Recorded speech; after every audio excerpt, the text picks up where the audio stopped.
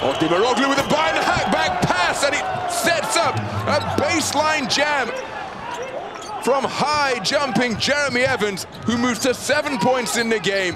What a delightful offload from Ozdemiroglu to catch the baseline cutter.